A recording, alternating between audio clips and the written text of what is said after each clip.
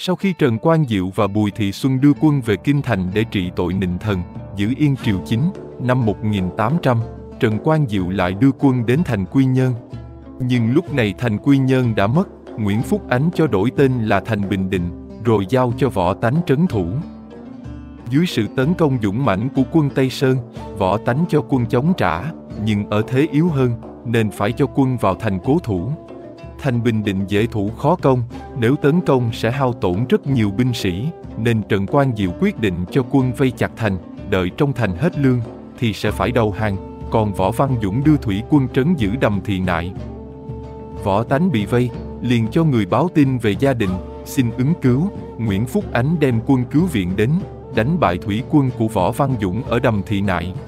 Võ Văn Dũng thua trận rút lên núi cao, cùng Trần Quang Diệu vây thành Bình Định. Trọng pháo của Tây Sơn tập trung trên núi cao, sẵn sàng nhả đạn, khiến quân Nguyễn không sao tiến đánh được. Lúc này, quân sư Nguyễn Văn Thành bày kế thí xe bắt tướng, tức là bỏ thành Bình Định, đem quân tiến thẳng ra kinh thành Phú Xuân. Nguyễn Phúc Ánh biết đây là kế hay, nhưng ông lại không muốn bỏ lại võ tánh, vì võ tánh là một vị tướng đã nhiều năm theo Nguyễn Phúc Ánh, trải qua bao giai đoạn khó khăn gian khổ. Thế nhưng, quân Nguyễn lần nào lên núi, cũng bị pháo của Tây Sơn đẩy lui, thương vong thảm trọng. Thành Bình Định bị vây hơn một năm, lương thực đã cạn, quân giữ thành cũng cạn sức. Võ Tánh không muốn vì bản thân mình, mà làm chủ tướng mất cơ hội chiếm Phú Xuân. Ông viết thư cho Nguyễn Phúc Ánh, phân tích rõ ràng rằng quân chủ lực Tây Sơn đang vây thành, không nên bỏ lỡ cơ hội chiếm kinh thành Phú Xuân. Trong thư, ông viết như sau: Kinh đô Phú Xuân đang bỏ ngỏ, nếu lúc này quân ta chuyển hướng ra Phú Xuân, ắt sẽ chiếm được, từ đó sẽ giúp thay đổi đại cuộc và kết thúc chiến tranh. Phận thần, làm tướng mà không giữ được thành, thì phải chết với thành, đó là lẽ hiển nhiên, huống hộ cái chết của thần sẽ góp phần thống nhất Sơn Hà, vậy hà cớ gì không thể mỉm cười nơi chín suối. Thánh thượng là thiên tử, không được vì tình riêng mà quên đi đại cuộc. Xin Thánh thượng, hãy cho chuyển hướng đại binh ra Bắc, đánh chiếm Phú Xuân. Võ tánh nỗ lực cố thủ trong thành, trong giờ phút hiểm nghèo mà vẫn nghĩ đến đại sự, chứ không lo cho bản thân mình, khuyên chủ tướng không cần cứu mình, mà hãy chiếm lấy Phú Xuân, quả là hiếm có.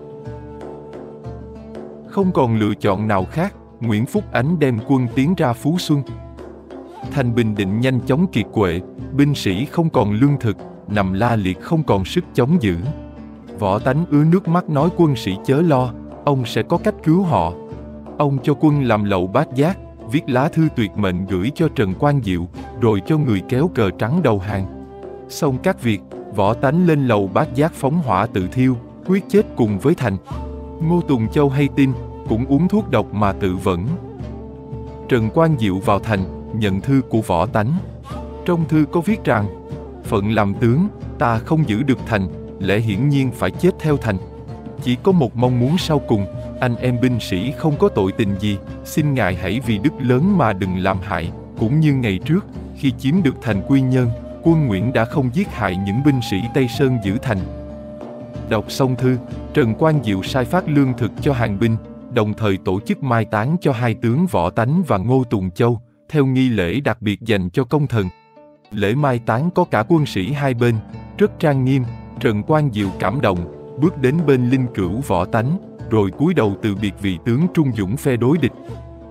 Trần Quang Diệu tập hợp các hàng binh lại rồi nói, các ngươi may mắn có được một chủ tướng kiên trung, mà cả dân chúng lẫn đối thủ đều kính phục. Nay theo mong muốn của tướng Võ Tánh, các người có thể ở lại quy nhân này lập nghiệp, hoặc trở lại quê nhà làm ăn, thậm chí có thể quay trở về với Nguyễn Ánh, tiếp tục chống lại ta. Ta đảm bảo mạng sống cho các ngươi rời khỏi thành. Các hàng binh được tha đều vô cùng cảm động, nhưng họ đều chọn con đường ra đi, không một ai theo quân Tây Sơn cả. Việc này khiến nhiều người hỏi Trần Quang Diệu, sao không giết bọn họ, vì thả đi như thế, có thể họ lại gia nhập quân Nguyễn đánh Tây Sơn thì sao? Trần Quang Diệu đáp rằng, họ không theo ta, là do nhà Tây Sơn ta đã mất lòng dân. Nếu giết họ thì lại càng mất lòng dân hơn nữa. Được thua là ở lòng trời, sinh linh có tội tình gì, ta nỡ đâu giết hại. Là một hào kiệt nhân nghĩa hiếm hoi trong đội quân Tây Sơn, câu trả lời trên cho thấy, Trần Quang Diệu cũng biết rằng nhà Tây Sơn đã mất lòng dân, khiến không còn một ai muốn đi theo nữa.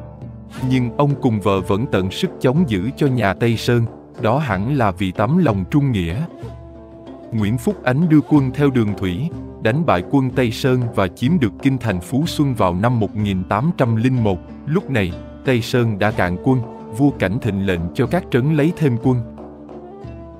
Đến tháng 12 năm 1801, vua Cảnh Thịnh tập trung 3 vạn quân, quyết lấy lại Phú Xuân. Nữ tướng Bùi Thị Xuân đem 5.000 quân đi theo hộ giá. Đầu năm 1802, quân Tây Sơn đến Trấn Ninh, Quảng Bình, thì gặp quân do đích thân Nguyễn Phúc Ánh chỉ huy, đang trấn giữ ở đây. Dù đã cố đánh, nhưng quân Tây Sơn không sao vượt qua được, vua Cảnh Thịnh toan rút về, nhưng Bùi Thị Xuân vẫn quyết đánh. Bùi Thị Xuân ngồi trên mình voi, đốc thúc ba quân tiến đánh từ sáng sớm đến chiều tối. Tình thế vẫn đang giằng co, có lúc quân Nguyễn Phúc Ánh đã phải chia quân vượt sông Linh Giang, đánh bọc hậu hồng rút lui. Nào ngờ em vua Cảnh Thịnh là Nguyễn Quang Thùy, thấy quân Nguyễn tràn qua nhiều, tưởng là nguy khốn nên vội rút trước. Khi Bùi Thị Xuân biết thì việc đã rồi. Đúng lúc ấy, lại có tin báo cánh thủy quân của Tây Sơn đã bị đánh bại, thế là quân Tây Sơn hốt hoảng bỏ luôn cả vũ khí đạn dược để chạy thoát thân. Về trận đánh này, sách Sử Việt Tân Biên có ghi chép rằng, tin thủy quân bị đánh tan đến tai vua Cảnh Thịnh và các tướng tá, khiến mọi người thất vọng. Riêng Bùi Thị Xuân vẫn hăng hái, truyền cho một đại đội khác đến thay cho bọn làm phản bỏ vắng. Quân Nguyễn trong thành bắn đạn ra như mưa rào. Quân Tây Sơn được lệnh ào ạt treo tường vào lũy Trấn Ninh, nữ tướng giành lấy dùi trống, thúc liên hồi, nếu trận đánh cứ tiếp diễn luôn hai tiếng nữa, như thế thành Trấn Ninh có lẽ mất. Nguyễn Vương và các tướng tá bấy giờ đã hoảng hốt, vội cho thủy quân vượt sông Linh Giang, đánh bọc hậu, có ý chia lực lượng của nữ tướng họ Bùi, mong mở đường máu để thoát thân. Nguyễn Quang Thùy nhát gan, thấy thế tưởng nguy, liền lui binh. Được một lúc thì bà mới biết. Sự kiện này làm những đạo quân còn đang chiến đấu nao lòng, đa số binh tướng Tây Sơn xin bà Bùi cho rút lui, tệ hơn nữa, họ bỏ cả vũ khí đạn dược để chạy tháo thân. Cuối cùng, thế chẳng thắng được, nữ tướng họ Bùi cùng một số quân riêng, hộ vệ cho vua Cảnh Thịnh rút về phương Bắc. Thắng xong trận này, Nguyễn Vương về Phú Xuân để sắp đặt việc tước vị, Trận này, Bùi Thị Xuân đã dốc hết sức tận trung với nhà Tây Sơn, nhưng với đội quân ô hợp, vua tướng hèn nhát, bà cũng không thể cứu nổi triều đại đã suy sụp. Lúc này, tại Bình Định, quân của Trần Quang Diệu bị cô lập, chia cắt với quân Tây Sơn đang ở Bắc Hà. Biết không giữ lâu được, Trần Quang Diệu đành bỏ thành để ra Nghệ An. Trần Quang Diệu phải đưa quân đi theo đường sang Ai Lao, rồi đến Nghệ An. Lúc này, quân ở các địa phương đều theo Nguyễn Vương hết. Thấy có quân Tây Sơn đi qua, thì họ đột kích khiến quân số hao hụt. Nhiều quân sĩ cũng chán nản vì bị ép đầu quân, nên cũng tìm cách đào ngũ. Vì thế mà quân đi theo Trần Quang Diệu cứ với giận theo ngày. Khi đến châu Quỳ Hợp, đất Hương Sơn, thì quân sĩ 10 phần chỉ còn lại 3, 4 phần. Lúc này, quân sĩ vì đường xa, lại phải trốn tránh quân địa phương tập kích, nên hầu hết ai cũng thấm mệt. Trần Quang Diệu hai chân bị sưng vụ, đi lại rất khó khăn. Khi đến Quỳ Hợi, thì Trần Quang Diệu mới biết tin thành Nghệ An đã mất. Quân Nguyễn phát hiện quân Tây Sơn thì bất ngờ tấn công. Không ngờ Nghệ An đã bị mất, nên Trần Quang Diệu không kịp phòng bị, quân sĩ đào ngũ gần hết nên không thể chống cự.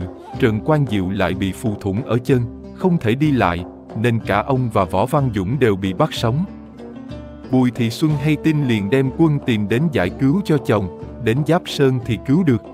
Tuy nhiên, sau đó quân Tây Sơn đào ngũ gần như toàn bộ, hai vợ chồng cũng khó khăn, người dân biết quân Tây Sơn đi qua, thì liền báo cho quân Nguyễn đến bắt vì thế, khi đến Thanh Chương, thì cả hai vợ chồng và Võ Văn Dũng đều bị bắt, đóng củi giải về Nghệ An. Dọc đường đi, Võ Văn Dũng phá củi trốn thoát được, đồng thời giải cứu luôn cho vợ chồng Trần Quang Diệu và Bùi Thị Xuân. Tuy nhiên, hai chân của Trần Quang Diệu bị phù, không sao chạy được, vì không thể bỏ chồng nên Bùi Thị Xuân cũng ở lại. Cảm ơn bạn đã theo dõi video này, hẹn gặp lại bạn trong những tập tiếp theo.